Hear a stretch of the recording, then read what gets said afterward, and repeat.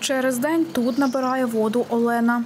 Миться і е, готувати, їсти щось. От. Взагалі якість нормально. Я намагалася е, спробувати на, на вкусові е, покупної води і цієї, що набираємо.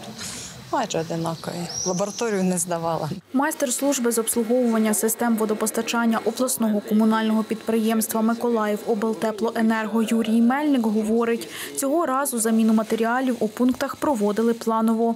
Сьогодні ми проводимо планову заміну мембран. От е, основний елемент цієї системи, Е, а також заміну всіх змінних елементів картриджів, чистка незмінних елементів, дезінфекція. Така робота. Юрій Мельник говорить, ціна однієї мембрани приблизно 300-400 доларів, картриджів 200-400 гривень.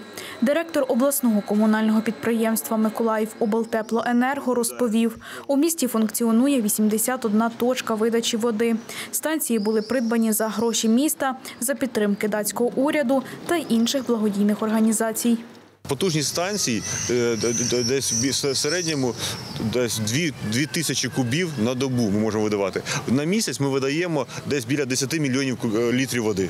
Але все залежить від того, перше, буде ще жарче, вони будуть більше люди брати. Якщо немає централізованого водопостачання, то люди більше беруть воду з станції. Але десь в середньому 10 мільйонів літрів води на місяць ми видаємо. Закупівлю витратних матеріалів профінансував уряд Німеччини в рамках проєкту посилення стійкості міст в Україні, який реалізується «GIZ Ukraine». Богдана Будулуца, Роман Волинський, Суспільне новини, Миколаїв.